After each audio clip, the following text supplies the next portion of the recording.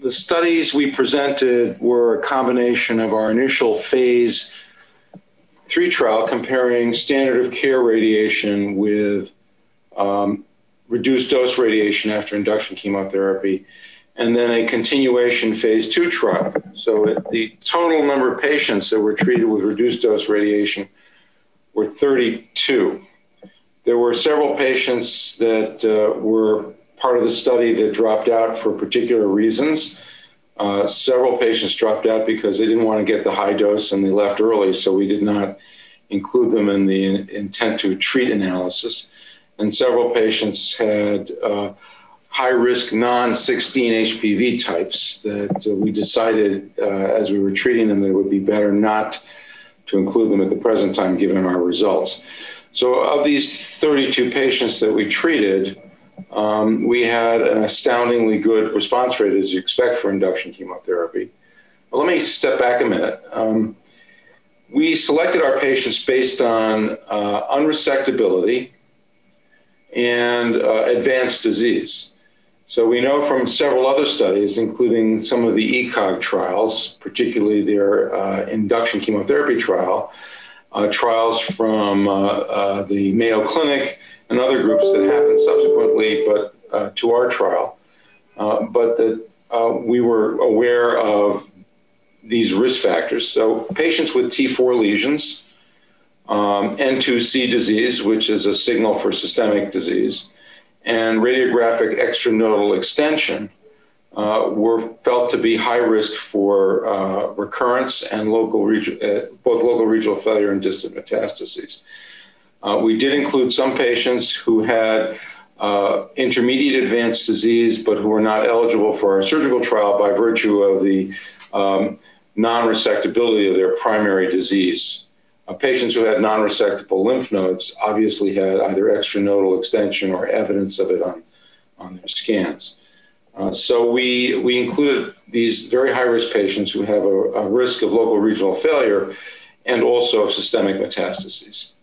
Uh, they were treated with a reduced dose of uh, 5-fluorouracil uh, in the induction regimen, which consisted of Taxotere, cisplatin, and continuous infusion 5-FU, the TPF regimen.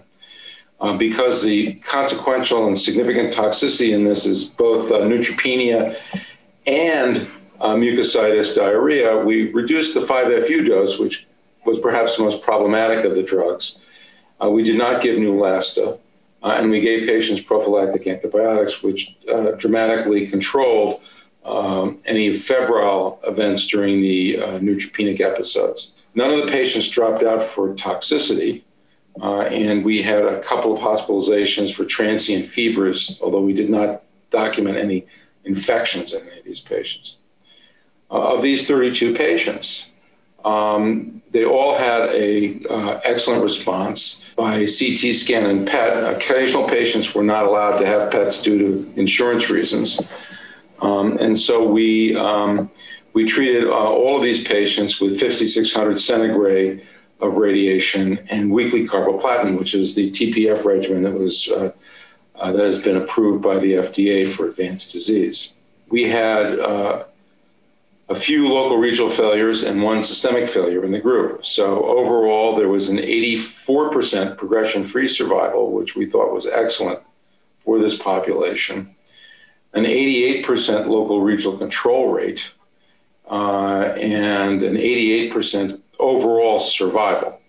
Uh, we had one or 3% risk of systemic metastases, which is reduced from what you might expect and what you saw, for example, in the ECOG uh, study, uh, as well as the Mayo Clinic uh, trial for their advanced patients with uh, extra uh, nodal extension. What was interesting to us in the study is that we had no failures after 12 months from the start of treatment.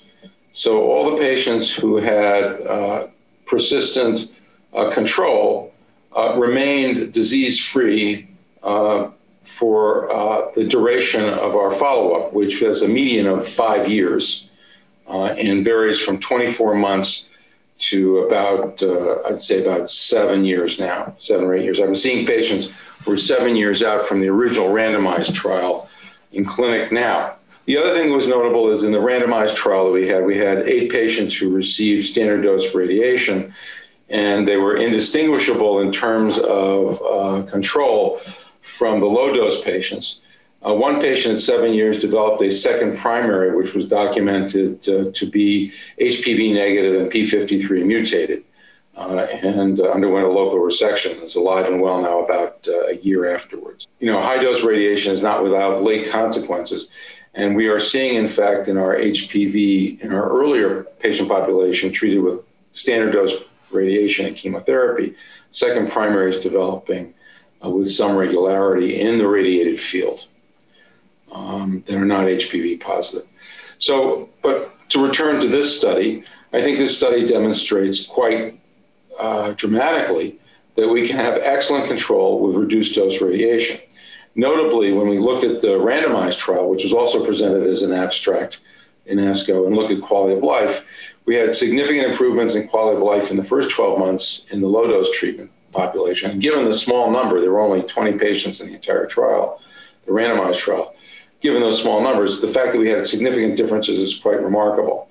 And when we looked at the five year data, which we obtained uh, in, for this abstract, uh, we also demonstrated that several of the quality of life uh, measurements were significantly better still, although, and all of them trended towards a better outcome for this uh, group of patients that, that received the low dose. So, even though it was a small number, there are significant differences in quality of life, which shows the power of the reduction in radiation dose for this population.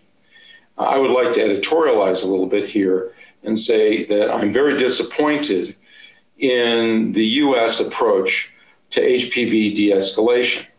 Uh, it has absolutely attempted to maintain radiation dose and even eliminates this cisplatin, while it's clear from anybody who treats this disease that radiation dose and field size are the principal determinations of long term and short term toxicity in these patients. And any randomized trial that doesn't attempt to address this by reducing radiation dose is not going to be successful. Um, and this is and, and does not approach the problem.